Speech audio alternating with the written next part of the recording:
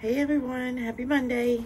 I've got a Ipsy haul and I thought I would show y'all what I got in it. This is what it looks like. This is what it looks like. So we've got a Chica Beauty. Never heard of the brand, but it's like a makeup brush. Let's see if we can get it open.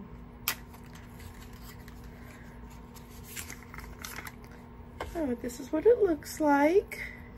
So it's got, it's a dual-ended brush. And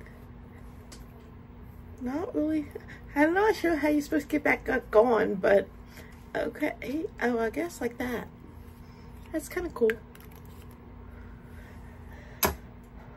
All right, and then we have a mini Tatcha Dewy Skin. I added that on because this is my daughter's favorite moisturizer. And she's 18 and I'm not paying $70 for, eight, for an 18 year old moisturizer.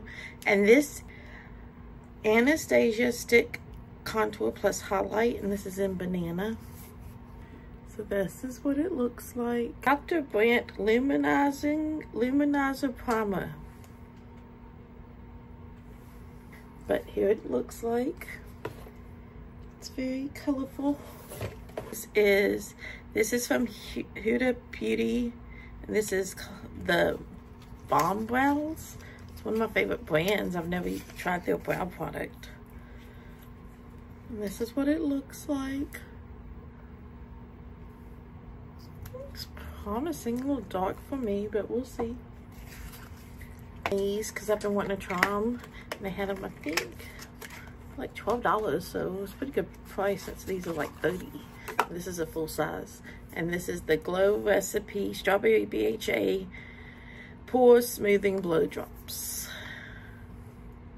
So we will try those out in the morning and see how we like them. And that was my Ipsy box for the month. Thanks for watching and y'all uh, have a good night.